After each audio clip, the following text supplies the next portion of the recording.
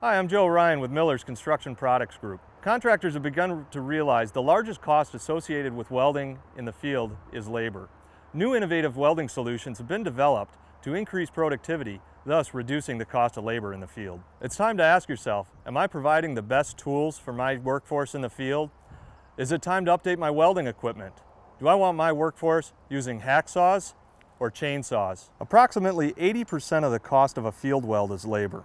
Welders are highly skilled craftsmen, but the environment and other job site activities often limit the productivity of your workforce.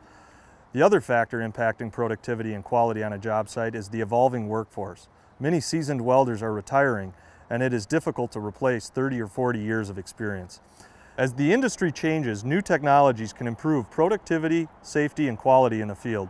Think about cell phones and televisions. They look drastically different now than they did 10 years ago. These advancements in technologies hold true for the welding industry. Think about what level of technologies you are using in your welding operations. Simple technologies like remote controls can improve quality, safety, and productivity on job sites. However, in the past, the control cable made them impractical to use. New remote control technologies eliminate the control cable by either communicating through a wireless signal or the weld cable itself. When hoping to reduce the cost of a field weld even further, evaluate different welding processes such as RMD and pulse. These wire processes reduce starts and stops of a weld, reducing the amount of failure points as well as increasing arc-on time for improved productivity.